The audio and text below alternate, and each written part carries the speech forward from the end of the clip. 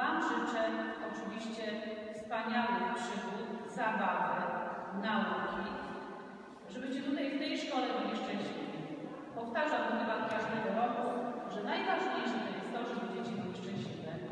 I tego Wam tutaj życzę.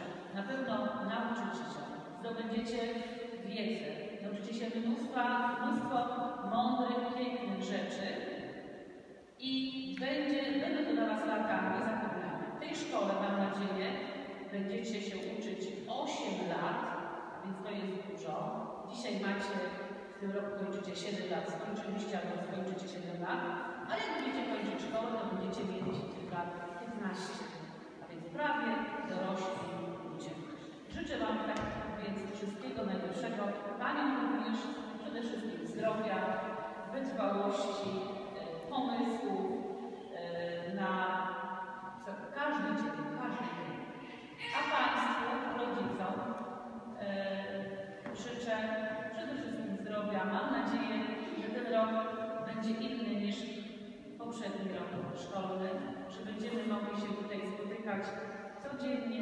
na twarzą w twarz, nie przez ekran monitorów, e, że będziemy wspólnie odpowiedzialni za swoje zdrowie, że będziemy przestrzegać zasad, które będą mogli przypominać nauczyciele i rodzice również.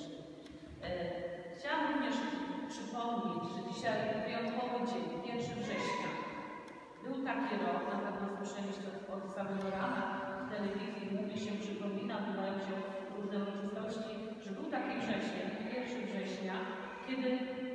uczniowie nie poszli do szkoły.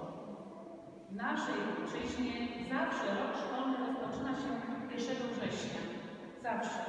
Ale był taki rok, kiedy uczniowie nie poszli do szkoły, bo wybuchła wojna. Były to straszne czasy, bo wojna trwała prawie 6 lat, bardzo długo. Zginęło mnóstwo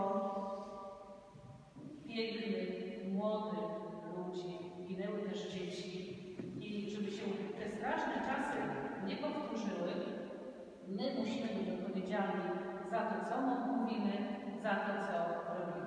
To są takie e, poważne słowa, ale myślę, że większość z Was zrozumie, e, że jesteśmy odpowiedzialni sami za siebie, za to, co dzieje się wokół nas. A więc, żeby nigdy więcej nie było wojny, e, pokoju, pokoju serca, pokoju tego e, na świecie, naszej ojczyźnie. Wszystkim Wam życzę, Wam, kochane dzieci i Wam e, również, drodzy uczniowie.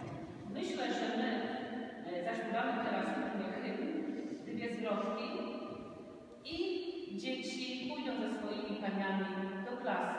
Rodzice cierpliwie poczekają. Pani ma salę numer